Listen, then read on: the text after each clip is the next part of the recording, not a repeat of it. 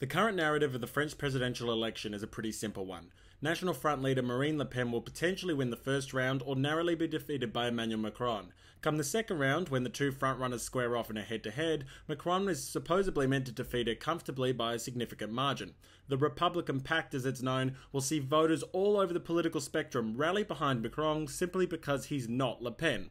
And after Geert Wilders was defeated in the Netherlands in March, the idea that Le Pen's demise is almost guaranteed has gained traction in mainstream media. I'm here to tell you that Le Pen certainly isn't the favourite to win the presidential race, but her chances are becoming greater by the day. Anyone who thinks this is a done affair is being blissfully optimistic.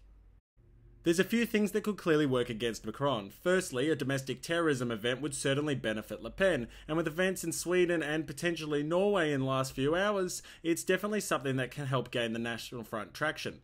Secondly, as Macron has become the poster boy of the establishment, more anti establishment voters and those dissatisfied with the status quo will likely be pushed into Le Pen's direction.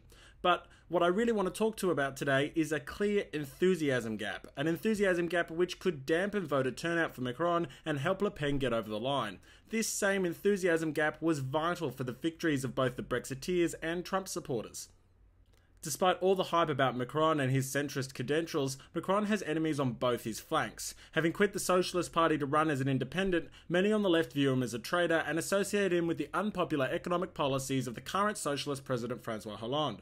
Those same policies, coupled with his socialist path, is exactly why many centre right voters who are currently backing Fillon are not convinced that Macron is a better bet than Le Pen in the second round. Furthermore, Macron's inability to cut ties with these unpopular policies such as liberalisation reform are acting like an albatross around his neck.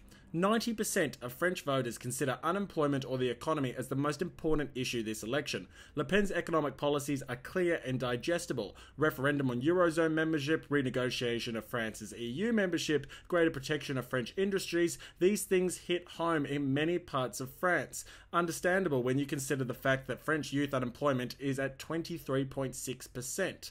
This is why Le Pen, unlike Trump and Brexit, has a significant supporter base comprised of young voters. Macron Macron is weighed down by these previous political endeavours, however, and therefore he's struggling to have his new economic platform break through the noise. This has helped to fuel a dangerously large enthusiasm gap between Macron supporters and the backers of Le Pen.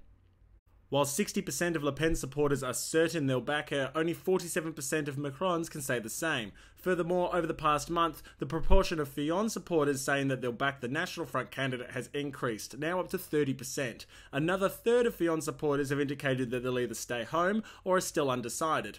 And this undecided element is key. In this election, the French are historically undecided. If the idea of a Republican pact is to work, the majority of the French nation need to fear Le Pen's victory so much so that they're willing to go to the polls and outvote her supporters. With such a high proportion of the country still undecided, with less than a month to the second round, that suggests large segments of the country don't actually fear a Le Pen victory. Macron will never be able to unite Le Pen's detractors by his policy platform alone. But if fear cannot unite her detractors, then this election could be much, much closer than people currently think. Le Pen supporters are motivated and energized, and it would appear that the same cannot be said for those who are seeking to keep her out of office.